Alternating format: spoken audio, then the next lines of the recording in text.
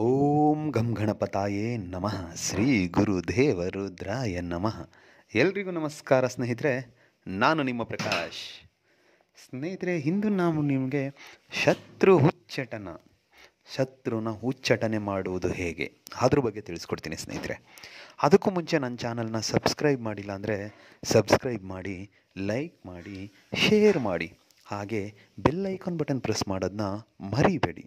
ಹೇಗೆ ಅಂದರೆ ಮುಂದೆ ನಾನು ಏನು ವೀಡಿಯೋಸ್ ಬಿಡ್ತೀನಿ ಅದೆಲ್ಲರಿಗಿಂತ ಮುಂಚೆ ನಿಮಗೆ ಬಂದು ಸೇರುತ್ತೆ.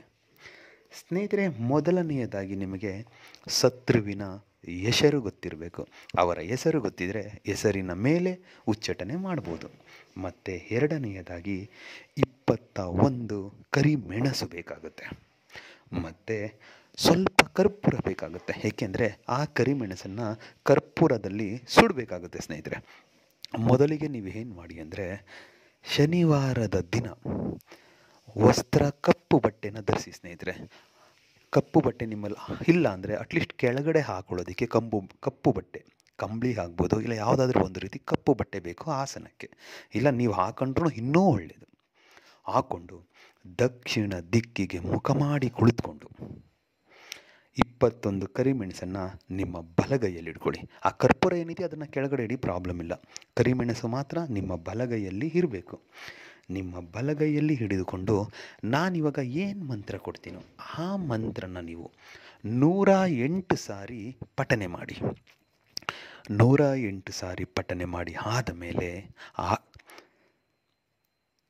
ಕರಿಮೆಣಸಿಗೆ ಎಂದು ಮೂರು ಸಾರಿ ಅಭಿಮಂತ್ರಿಸಿ, ಮೂರು ಸಾರಿ ಉರ್ಬಿ ಆದ ಮೇಲೆ ಅದನ್ನು ಕರ್ಪೂರದ ಜೋಡಿ ಸುಟ್ಟು ಬಿಡಿ ಆದರೆ ಒಂದು ಹೇಳ್ತೀನಿ, ಈ ಕ್ರಿಯೆ ಮಾಡೋದನ್ನು ಯಾರಿಗೂ ಹೇಳಬಾರ್ದು, ಮಾಡುವಾಗ ಯಾರೂ ನೋಡಬಾರ್ದು. ಇಷ್ಟನ್ನು ಮಾಡಿದ್ದೇ ಆದಲ್ಲಿ ನಿಮಗೆ ಖಂಡಿತ ರಿಸಲ್ಟ್ ಸಿಗುತ್ತೆ. ಸೊ ನೀವು ಕೈಯಲ್ಲಿ ಕೈ ಮೆಣಸನ್ನು ಹಿಡ್ಕೊಂಡು ಹೇಳಬೇಕಾಗಿರೋ ಮಂತ್ರ ಹೀಗಿದೆ ಓಂ ಗಂ ಗಣಪತಾಯೇ ನಮಃ. ಮಂ ಶತ್ರು ಉಚ್ಚಟನ ಕುರು ಕುರು ಸ್ವಾಹ. ಓಂ. ಮಂತ್ರ ಇನ್ನೊಂದು ಸಾರಿ ಹೇಳ್ತೀನಿ ನೋಡಿ ಸ್ನೇಹಿತರೆ.